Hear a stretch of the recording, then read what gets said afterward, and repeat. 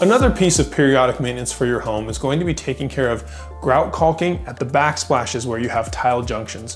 One of the most common places is going to be here in your master bathroom at the master bathroom sink and countertop. The grout caulking that's right there is a caulking product, but it has grout mixed in with it, so it has some flexibility.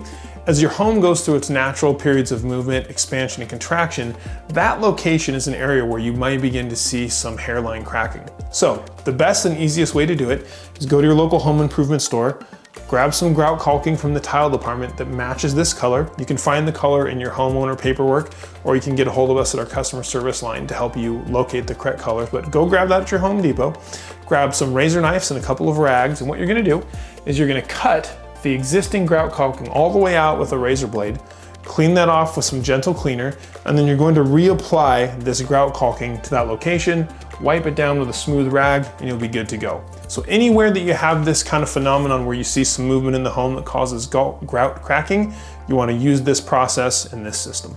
One other location that's not at your sinks and countertops that you're gonna have some responsibility for grout caulking is here in your shower, and it's where your tile walls meet your fiberglass shower pan. There's a grout caulking bead all the way around there, and that will move with time and will be something you'll need to maintain.